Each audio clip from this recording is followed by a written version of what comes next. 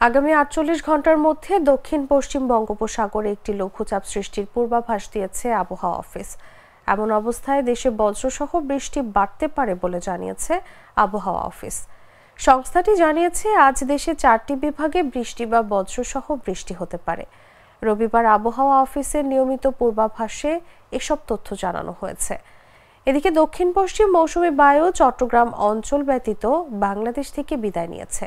পরিস্থিতি অনুকূলে থাকলে দক্ষিণ পশ্চিম মৌসুমী বায়ু পরবর্তী চব্বিশ ঘণ্টার মধ্যে বাংলাদেশের অবশিষ্টাংশ থেকে বিদায় নিতে পারে বলে জানিয়েছেন আবহাওয়াবিদরা আবহাওয়াবিদ মোহাম্মদ ওমর ফারুক জানিয়েছেন, মৌসুমি বায়ু বিদায় নেওয়ার সময় বৃষ্টি ঝরিয়ে যায়।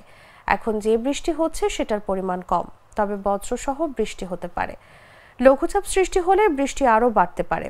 তিনি বলেন, এই সপ্তাহ জুড়ে দেশের বিভিন্ন জায়গায় বৃষ্টি বা বজ্রসহ বৃষ্টিপাতের প্রবণতা অব্যাহত থাকতে পারে।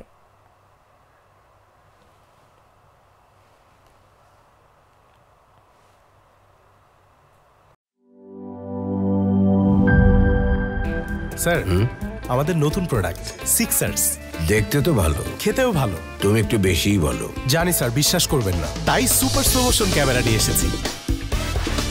দেখেন স্যার। চকলেট পিনাট ক্যারামেল ও নোগাটের দারুণ কম্বিনেশন এলো সিক্সার্স চকলেট কোটেড বার পুরোটাই এনার্জি